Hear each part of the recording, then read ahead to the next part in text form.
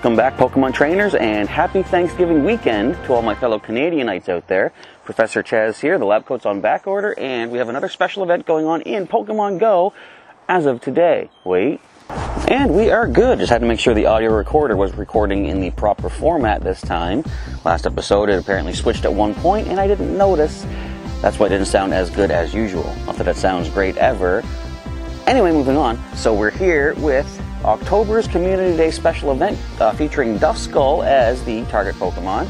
Now, hopefully you're hearing the game music because right now this phone is so far gone that not only does the charging port not work properly, meaning, you know, our live streams are basically just not happening. However, another problem is the audio port decided to stop working now too. So, I can't hear a thing. Of course, the earbud's not in, but I know that I can't hear a thing. So, I am suffering through total silence while you folks get to hear the game. I hope. I gotta double check that. Regardless, I'm gonna be getting a new phone at some point ASAP so we can continue on with what we usually have here on the channel. So as I say, this is, as you can see from the neighborhood, Duskull Community Day. We do have our ticket. Chunk needs some attention, but uh, Chas needs some coins, so I'm gonna let him come back at some point. All right, let's get right over to Professor Willow because we do have the ticket for, is it Nothing dull about Duskull. Special research, I believe. Hey there, Chas. Have you noticed an increase an increase in ghost-type Pokemon appearing lately? Because I sure have. I just did myself a moment ago. I was conducting some research in my lab recently when I felt a chill run up my spine, almost like something was watching me from the shadows. I mean, I guess there are shadows right now. I was going to say it's bright sunny day, Professor, but I whirled around to face my uninvited guest and saw a Pokemon floating eerily in the corner.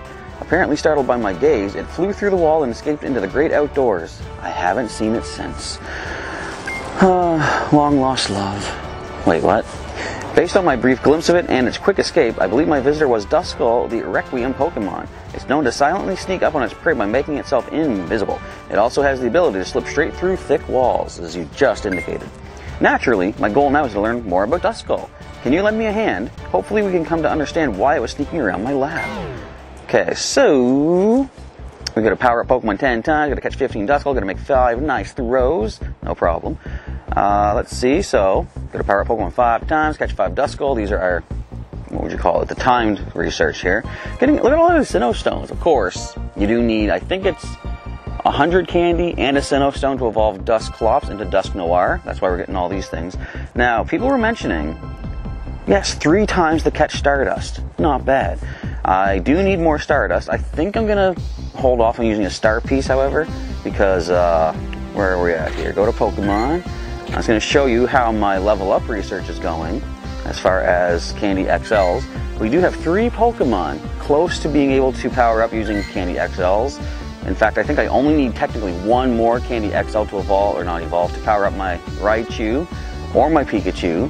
And we're pretty close on Beedrill as well, and I could convert say 14 more candy or candy XLs out of our basic candy.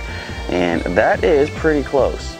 But of course with Pikachu and Raichu I can only use candy XL for one of them. So technically I've only got two Pokemon very close to being able to max out their CP to work on completing my level up research which still requires three Pokemon to be maxed out using candy XLs we're still a ways away from that, but I don't mind building up the experience to uh, put forward to the next level up.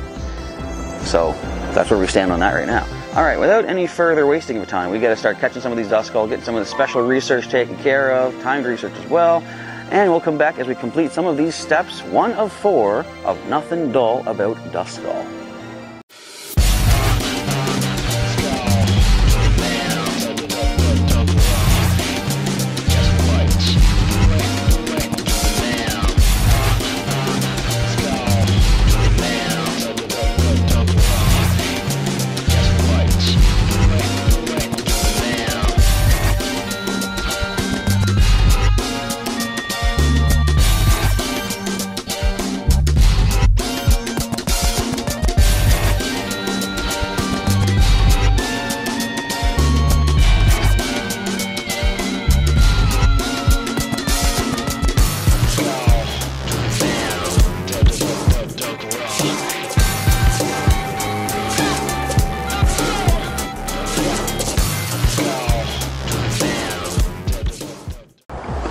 Mention this earlier, but uh, I do have only a few hours to take part in our community day today.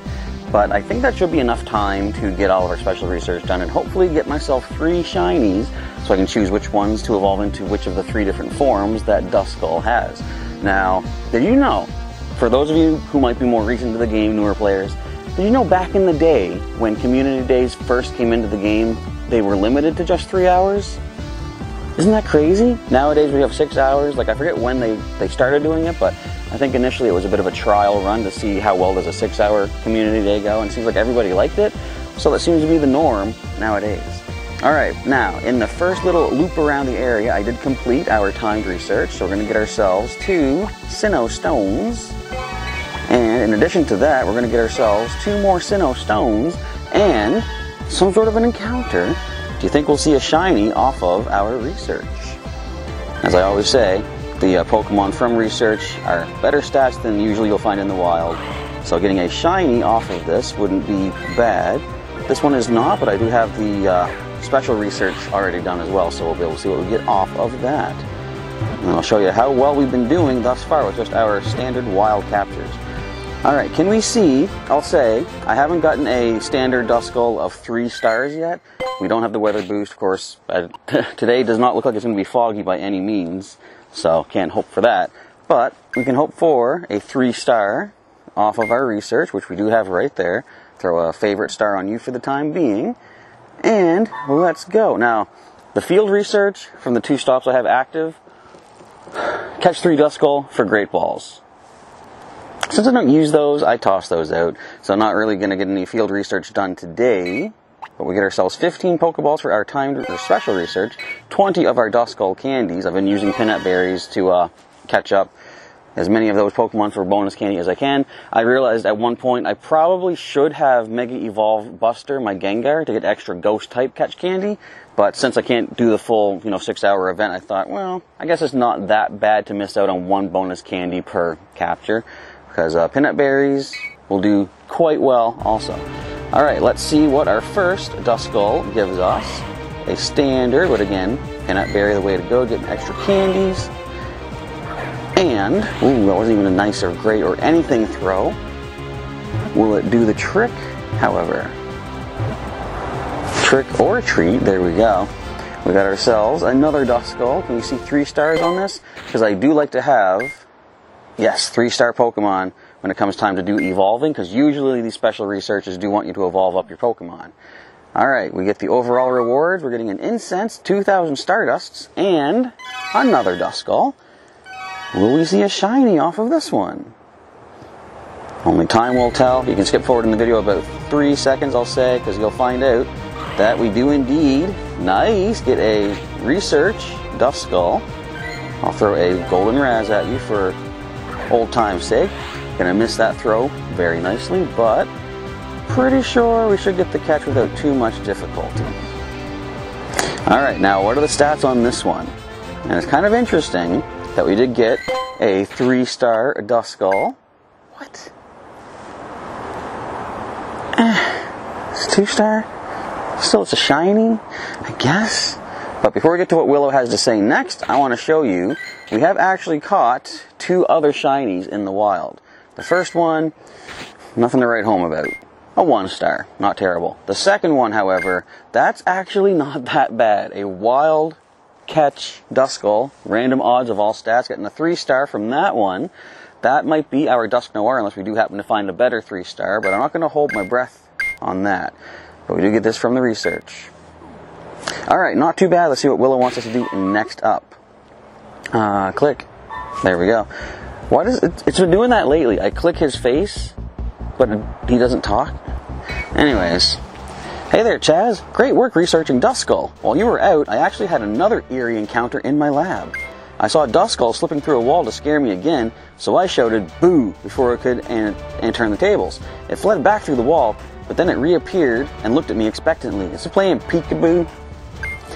Thus began an impromptu game of peekaboo. It made me realize that Duskull may not get many chances to play with others because people are so quick to startle at its appearance. Makes you a bit sad, doesn't it? Kinda, maybe. I wonder what else we can learn about Duskull. I know. Why don't you try evolving your Duskull into Dusclops? Also known as the Beckon Pokemon, Dusclops apparently sucks everything in as if it were a black hole. So be careful of its mouth. Does it have a mouth, actually? Okay, gotta catch 15 more Duskull, transfer 10 Pokemon, evolve 3 Duskull. Not bad at all. Do we have any more time research? We do not. Okay, so we're all caught up on that. So let us keep on moving on, catching more Duskull. Back in a moment.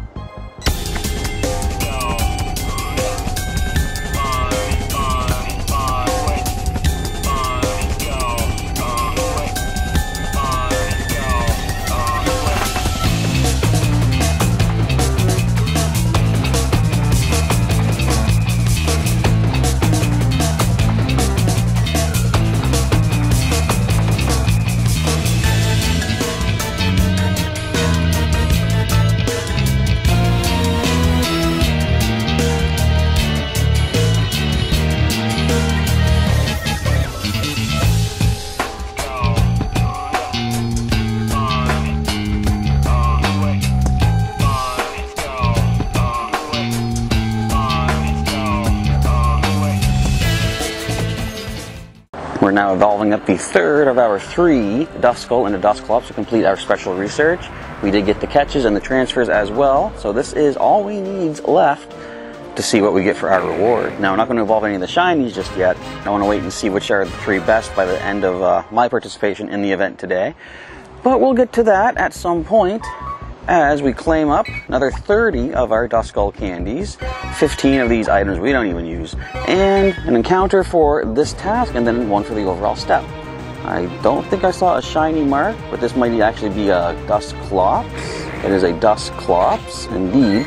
Let's go for that bonus candy. I'm not even centered in the, the video. Oops. You know, I can actually do editing to make that work, but that takes effort, and do I want to put in effort? Not that much.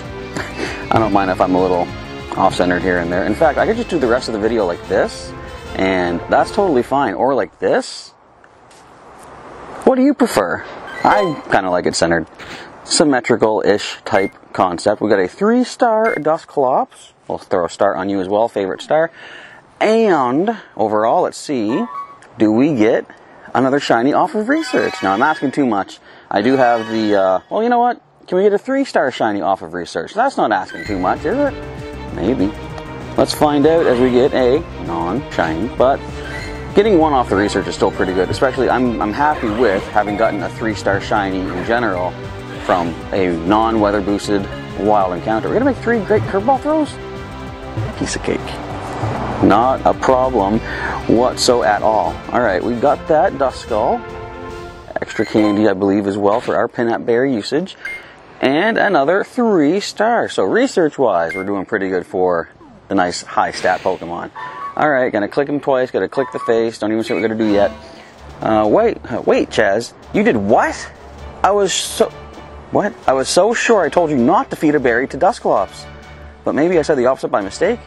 yeah, my bad on that one. Why? Oh, is it because if it opens its mouth, it'll suck everything in? But it just ate the berry normally, huh? No danger of you getting sucked in as well? Fascinating. Oh, and quite relieving. Yes, glad to see you back in one piece. Now let's learn more about Dusclops' evolution, Dusknoir. Known as the Gripper Pokemon, it's said to steal people and Pokemon away at the behest of transmissions from the spirit world. Now we're getting into some freaky stuff here. No one knows whether Dusknoir has a will of its own. Sounds like a Pokemon ripe for researching. Could you evolve your Dusclops for me so we can learn more? Sounds kind of dangerous. Okay, make three great curveball throws, evolve one Dusclops, transfer 10 Pokemon. You can do the evolution right now since we are here together. Let's do that. Which is our best of these three stars? Let's take a look see. Uh, that one is six points away from perfect. That's worse. Okay, so six is our best. How about this one? This one is only uh, five points. So I think we're going to go with our five point Pokemon. We'll use 100 candy and one of our Sinnoh stones to evolve into Dusknoir, completing that task for our next set of research. Then what was it again? Great curveballs, transfer, not a problem. Let's see what our full-formed Dusknoir is looking like. Should I read the Pokedexes for these things? I mean, we've already seen them. I don't know if I've actually read. I'm going to read it. I know there's a chance I haven't read it on the channel or the videos as of yet, but we have Dusknoir, the Gripper Pokemon. The antenna on its head captures radio waves from the world of spirits that command it to take people there. Basically what he just said, but still freaky stuff. Alright, let's continue on and complete this next set of research, which may be the last task that we need to do, because we could just be getting rewards handed to us as step four comes to a close. Let's find out together in a moment.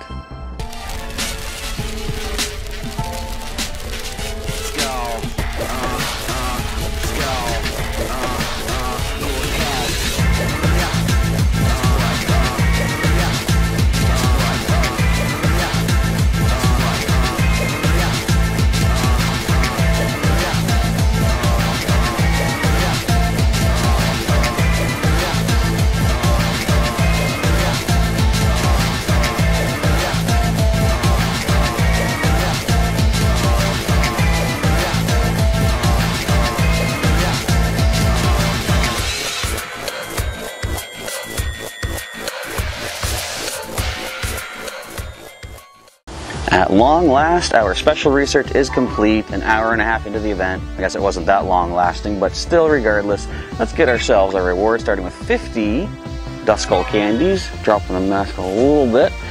Uh, we get two more Sinnoh stones. Wow, they really want us to evolve things, don't they? And a star piece, which, as I said, I could have used, but at least I got an extra one right now. So overall, we're being handed a rocket radar, 15 Ultra Balls, and 2,500 experience. And looks like we are just getting rewards, and he's freaking out. Hey there, ah, ghost! Behind you! It's. Wait, is that Dusk Dusknoir? Sorry about that. It's my first time seeing one. Really?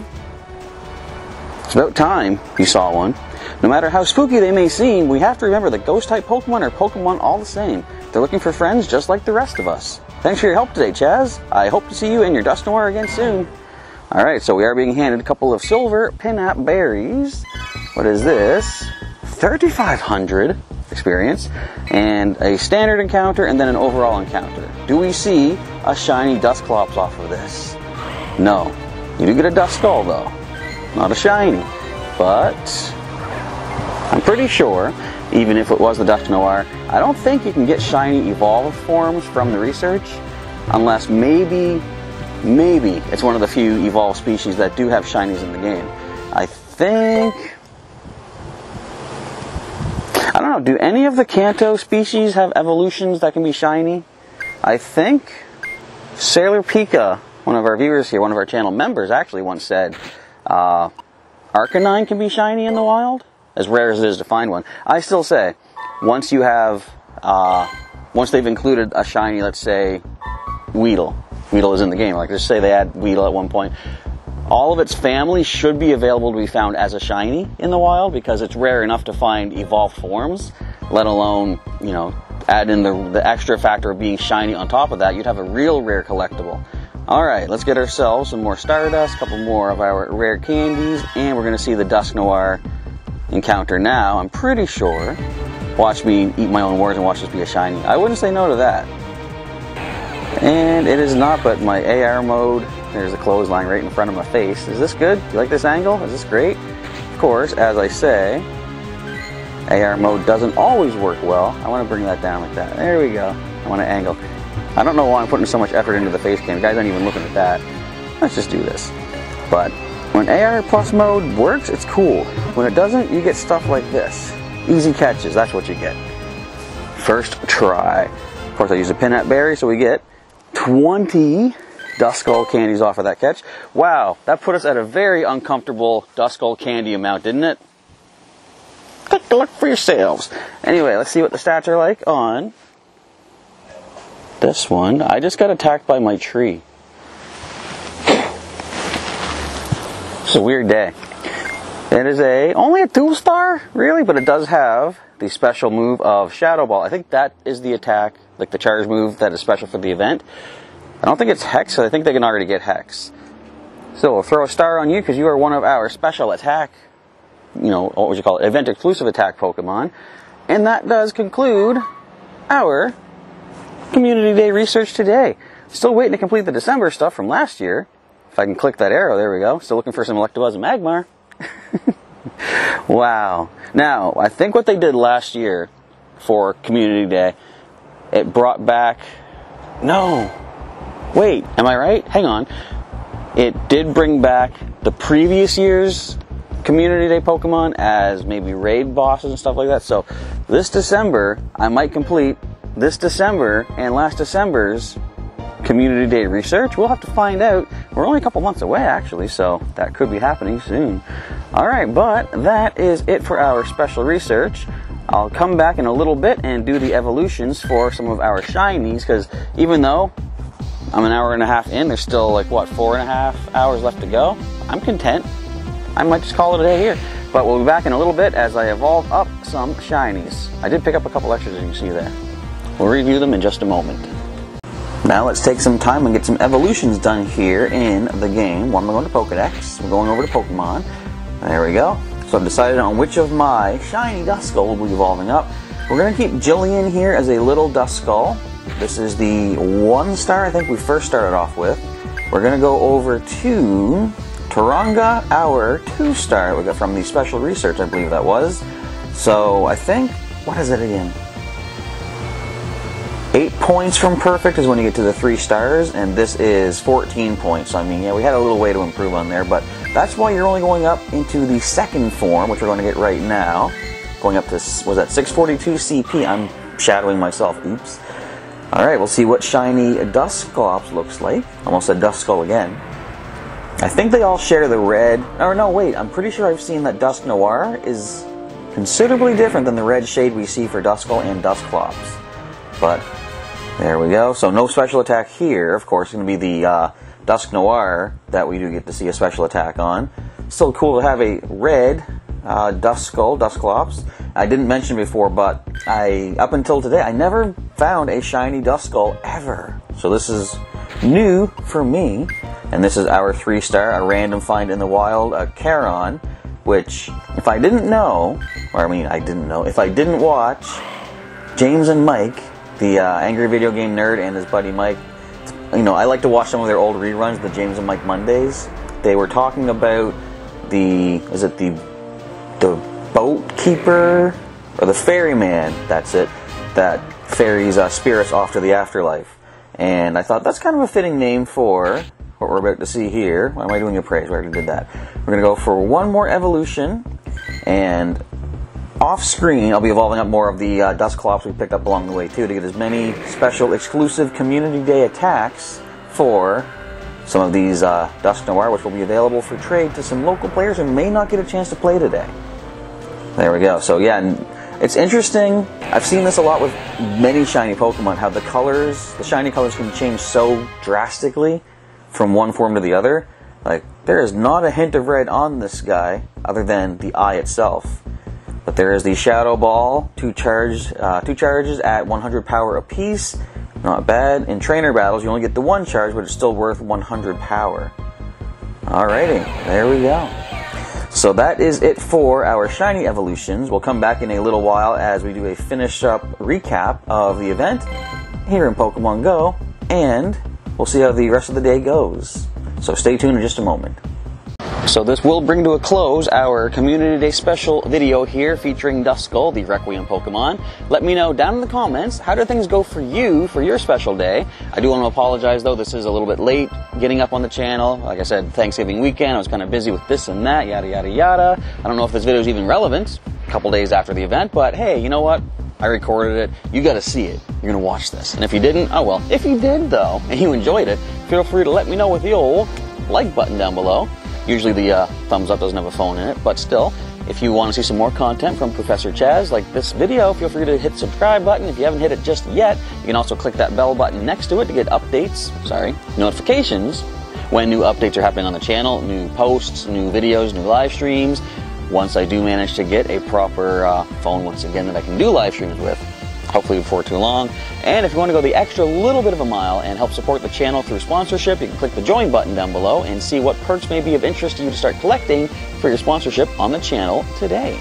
All right, with that, we got to get rolling. I have to prepare for another another another special event coming up here in Pokemon Go in just a few days, I believe. Go to the news, we're going to take a quick look see at Pokemon Go Halloween. I think we have two weeks of events coming up starting this coming Friday, so stay tuned not only to my channel, but in your own games for that. For the time being, however, Professor Chas is now signing off. Thank you folks again for watching, and I will catch you next time.